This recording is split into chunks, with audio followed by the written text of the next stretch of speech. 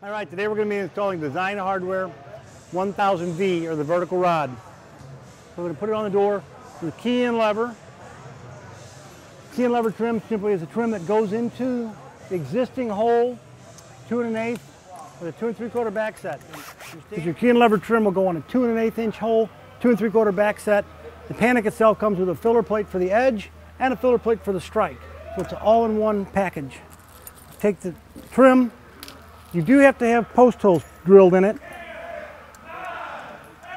A lot of your panics and doors already come pre-drilled with post holes. Put the key and lever trim in and it will screw in place.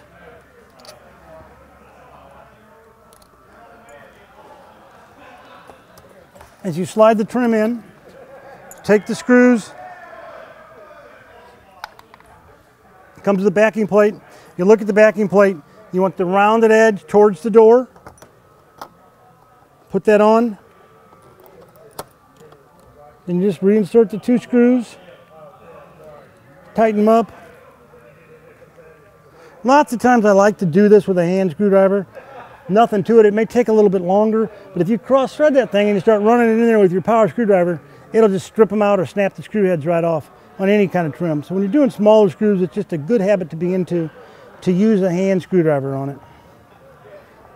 We'll screw this one in and hold it in place, and we got one more to put on it. Okay. Screw it in nice and tight.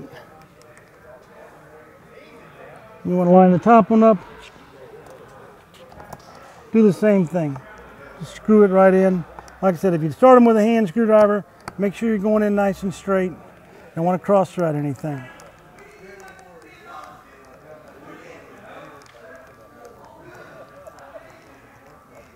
Now with the 1000 panic device and this particular trim, the two post holes will actually act as through bolts. Once we get the panic put in and lined and installed in place, we'll have the post holes to run in there. We have through bolts actually going from the trim then into the head of the panic. Just makes it a whole lot sturdier. It's another little nice feature of the 1000.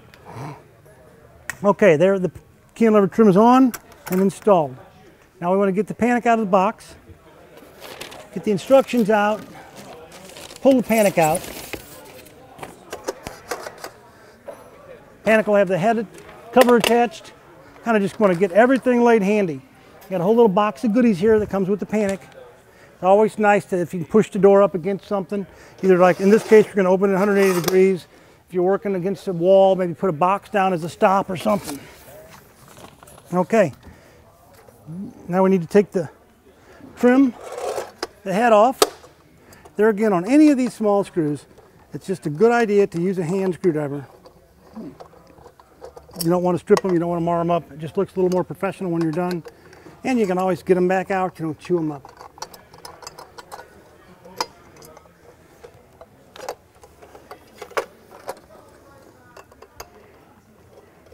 There's four screws that hold the trim cover on. Just make sure you hang on to all four of them. We can put them back in.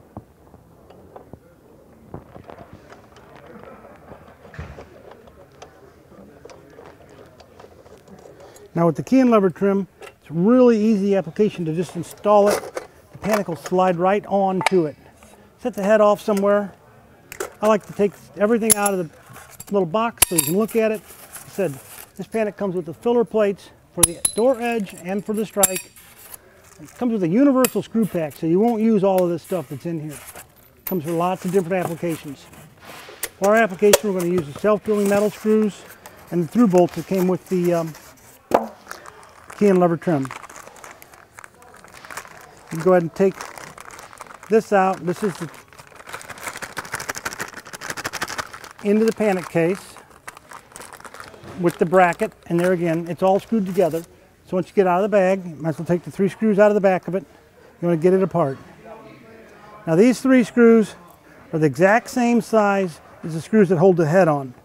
So you can mix them together that hold this trim case on.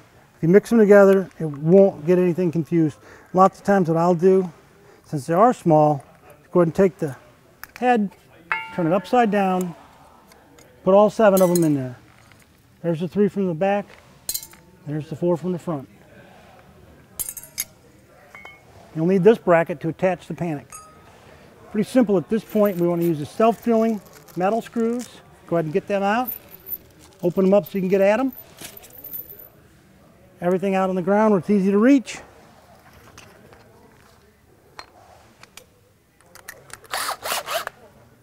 Now there's a couple ways to do this. You want to make sure you got it good and straight. Some guys will use a plumb bob level or something like that. I will generally just take it. Now, to install the panic on the, on the key and lever trim, pretty easy. This is an X or a star-shaped sleeve that goes in this insert right here. All you need to do is line that up, slide it on, just like that. And you want to put a screw in there, hold it in place. Generally one screw will get it for now. You want to kind of hold it on there. There you go. Now we're going to want to put the end cap on it. Order to put the end cap on it, take this bracket. Notice the end bracket has got two tabs on the bottom and one tab on the top. You want the two tabs. When you put them on the door, there's a notch in the panic. The two tabs will slide right between it. And then you want to slide it and screw it on. Now in this case, we've got holes in here from where we put it on before. If I were putting this on the door just to start with, what I would do, take a level. I'm going to set a level up on the panic bar itself. And then you want to bring it up till it's level and attach it. And after you attach it with the level, I always like to take it, go ahead and measure it anyway, just in case. Because if the door is swinging a little funny, it could still be off. So you want to measure here, you want to measure over here, make sure they're the same. 38 and a half, 38 and a half. We're good. Go ahead and put our second screw in there. Screw it up tight. Now you want to go ahead and put the rest of the screws into the head. You should have four screws screwed into the head.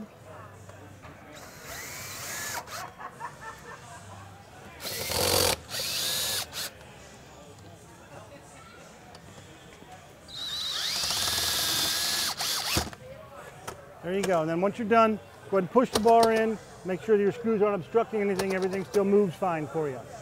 Now I've got that bar on. We are ready to attach the brackets on the top. Okay, now that you've got the bar attached, you want to go ahead and put the latch on the top and the latch on the bottom. Inside the box, you'll find the instructions with templates ready to go. You can lay your template out. Your template on the top. You're going to lay out a line. Find the center of your device. Now you put it in a standard doorknob hole so you're two and three quarters in, but you just want to check that. You want to measure in two and three quarters, put a line. And generally what I like to do, go ahead and put a long line up there, especially on a hollow metal door it's going to get painted. Now if it's a wood door or something, got to be a little cautious, your marks don't show. On a hollow metal door, we'll just put a nice line there at two and three quarters. We'll go ahead and mark the bottom at two and three quarters while we're here. Mark the bottom at two and three quarters. Now you take your template, your template's got a line on it that lines up with the top edge of the stop. So what you'll want to do, pull that door closed and then strike a line on it right across the top of the stop. And then go from that line.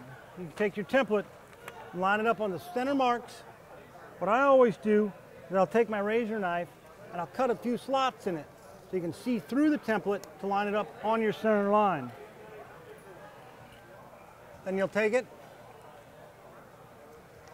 line your template up on your center line, line it up on your line that you put across the top of your door that is the same line as the top of your stop, basically 5 eighths of an inch down. You line that up and then you mark them. And I'll take those marks and you want to go ahead and punch them. And I like to punch them and pre-drill the top hole. So on the top hole, we want to pre-drill that. So you put the bracket on. The bracket has got a slot in it. One large slotted hole, one small hole to set it. The top hole is a, is the slotted hole. So if you mark that, it'll give you room to move that and adjust it up and down a little bit. Now the brackets for the top and the bottom latch are exactly the same, so you don't have to worry about getting them mixed up. But if you look at the latch itself, the latch on the top is truly a strike. The bottom latch just merely has a hole in it for the rod plunger to drop through and drop into the floor or the threshold. So we're going to go ahead and put a bracket onto the top.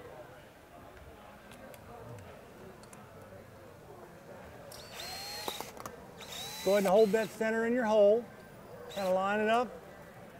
Now, you take your top strike, drop it in there. Got to make sure it's all good to go. It'll all fit, all lines up. Now that'll hook on your strike on your door frame.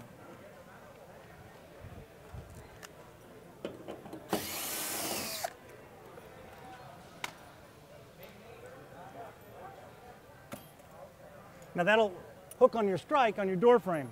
If you want to get in your box of stuff, you want to get your strike out. If you notice on your strike, it's got the same configuration. It's got two oval holes and one round hole. Now that strike will be center, two and three quarters, just like everything else you got going. So you can come over here to your door frame, measure from the frame, not the stop. You want to measure two and three quarters in. And then that center hole to start with, you want to go back an inch and an eighth. Go ahead and measure that an inch and an eighth, mark that. You want to go ahead and put your strike on the door frame. When you install it, the screws go away from the door to the back.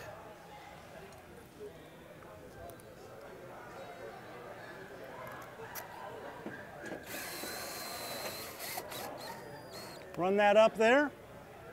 There we go. Now you want to take your door, we're going to close it real briefly for a second, make sure it clears. At this point, everything is good. You want to make sure that that clears. The strike works. So you can go ahead and take that bottom screw, which runs through your housing. Screw runs through your housing and through your bracket. Go ahead and put that in. There you go. Now we're ready to do the same thing on the bottom. We'll touch, catch the bottom bracket and the bottom housing. Take your template, same piece of paper used on the top, but it's clearly marked top latch, bottom latch. On the bottom latch, you want to mark this line in the bottom of the door frame. What I've done is I've cut that line with my razor knife so I can feel to make sure it lines up in the right spot. And I've got the grooves cut for my center line. So I'll take that, I'll hold it on my center line, then I'll slide it down until I'm even with the bottom of the door, then I will go ahead and mark them. There we go. There again, I would center punch those and pre-drill the large slotted hole. Just makes it a lot easier to attach.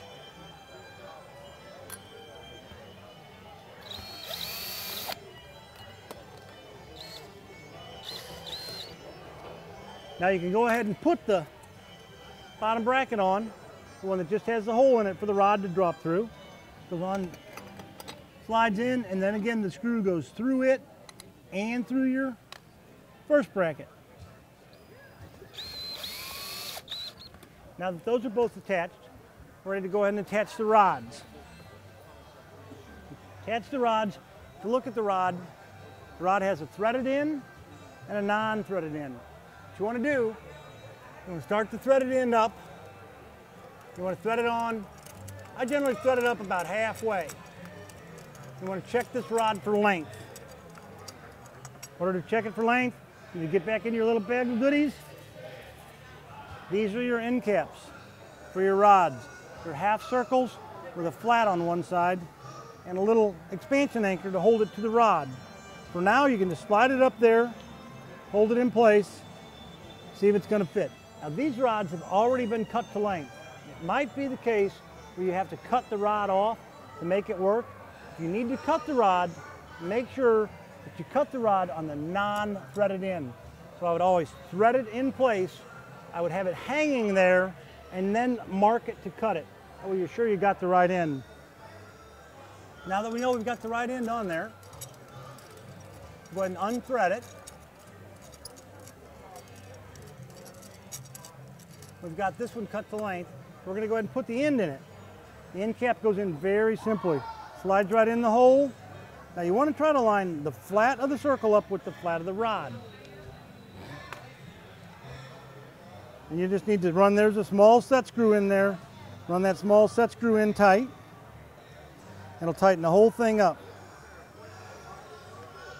Now if it didn't come out perfectly straight, you can always take a pair of pliers or a vice grip, just turn it a little bit, get it to line up just how you want it. Now before you put it back on, you want to get in your little box of goodies again, and you got a rod guide. The rod guide consists of two parts. Rod guide consists of a metal frame that screws to the door and a plastic guide that fits over your rod. You need to put your rod, plastic rod guide on at this time. Now it'll slide on either end. So you can drop it on and thread it in place, or you can go ahead and thread it on where you want it.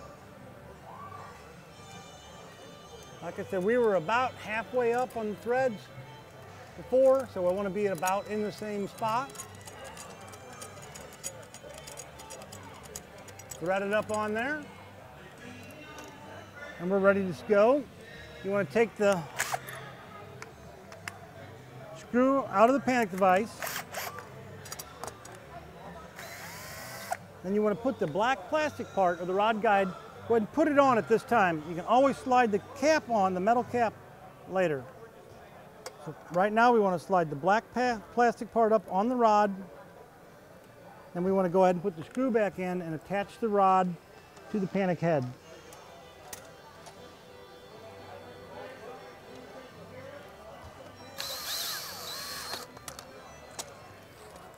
Get your piece of plastic out of the way.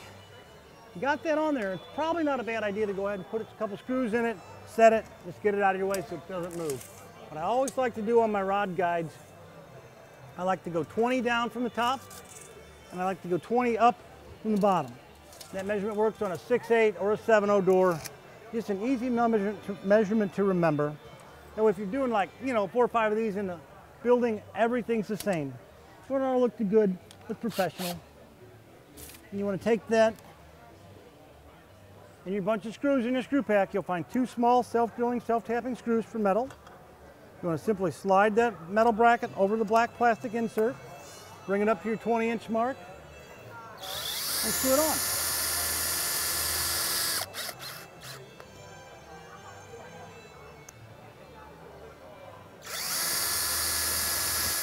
Now once you screw that on, you want to check, make sure you didn't bind that rod.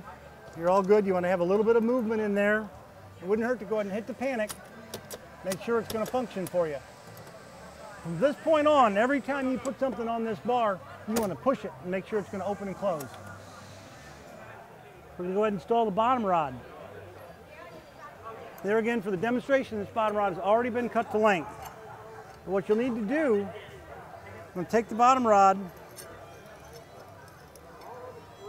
This is the bottom strike or strike bolt. It'll just drop into the hole in the bracket. Quite simple, just a gravity feed. There again, this rod has got a threaded insert on one side and non-threaded on the other. When you go to cut it, make sure you cut the non-threaded end. What I always like to do with these, to be safe, thread that on about halfway. Go ahead and put the nut up, just kind of draw it up snug. And I'll drop that in the hole you want to be about a half an inch below bottom of the door from your connection point. This rod has the same kind of little fitting, really slick deal. Drop that in there, tighten that screw up. Very nice. And we'll take this screw off of here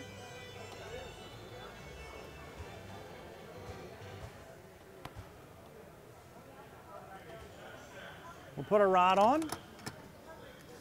When your rod is attached, you want to be about a half an inch below the bottom of the door. Not the bottom of the bracket, but the bottom of the door.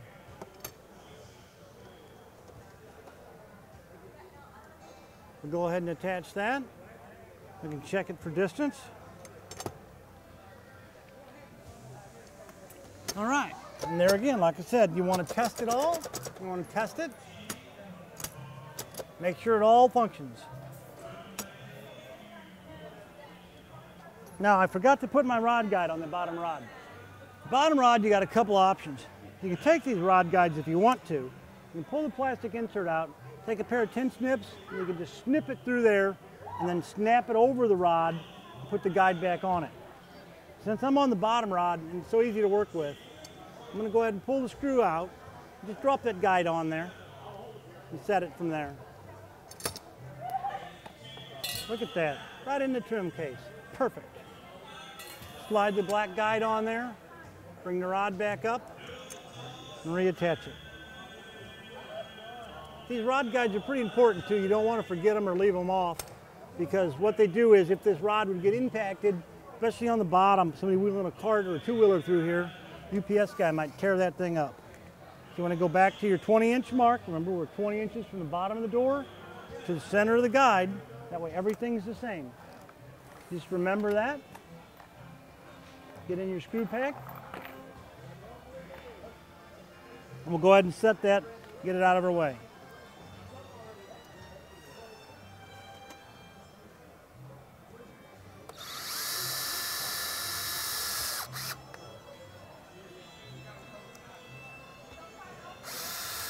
Now with that guide in place, you want to feel a little, little bit of wiggle room in that rod.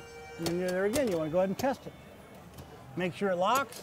And what I'm doing up here, I'm taking my thumb and I'm tripping that like I were hitting the strike and coming closed. That way I can test it, make sure it's working for me. I can trip it like it's closed, hit the bar like it opens. Now we've got the bottom rod on, we've got the rod guides on, we're set. We're ready to go ahead and put the trim cases on. I like to start with the bottom trim case and just work my way up. Just my own personal preference.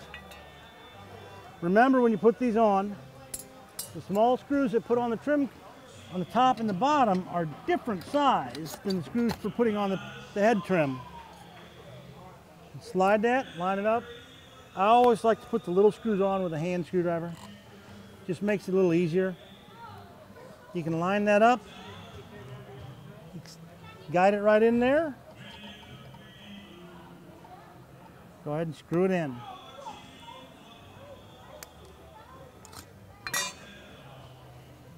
Don't think why it would be any different than it was on the first one.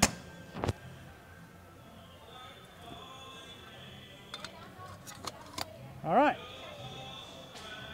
Now you can take your bottom case, you can slide it on there, you can see the hole, line it up, put the screw in, there you go. There again, I will test this bar every time I put something on it from this point out.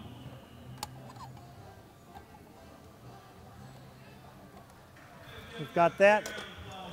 Now, a lot of guys will close it and open it, close it and open it for the demonstration purposes. There again, I'm going to use my thumb up here.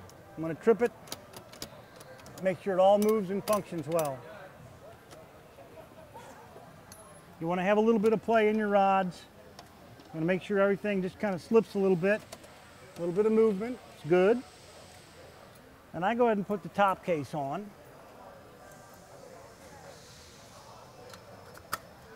Snap it in place. You can line the holes up. You can see right through the case. Tell if everything's gonna line up. Screw it right in there.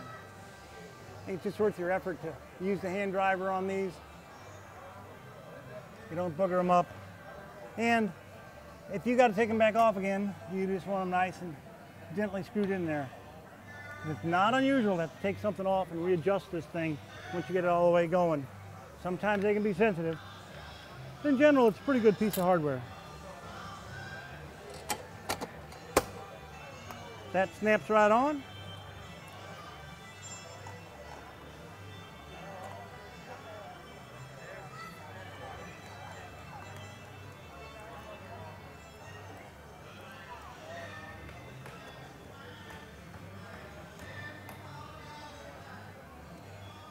set all these on.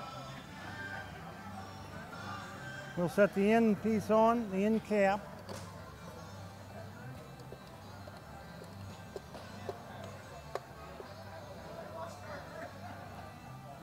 And you're going to want to check it every time you put something to it. Except that end cap would be your one exception because when you put the end cap on, really no moving parts or anything back there. Looking good, everything still moves, jumps up and down. Put the end cap on. It just slips right on there.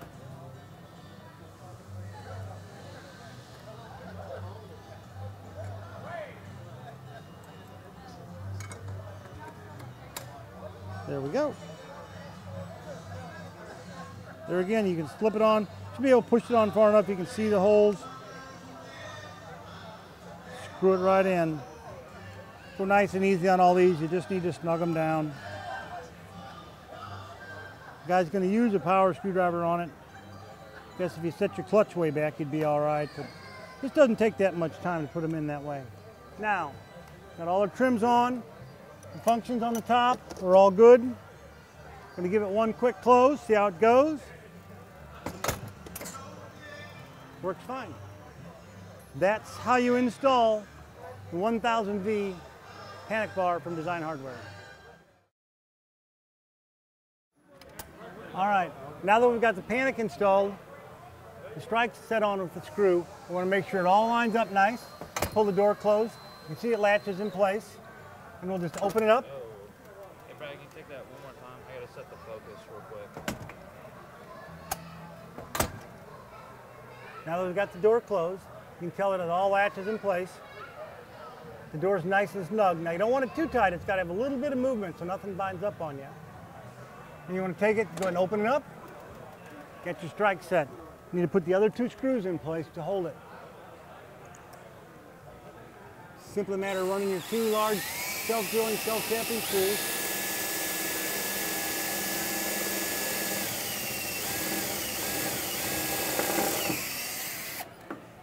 Hold it in place.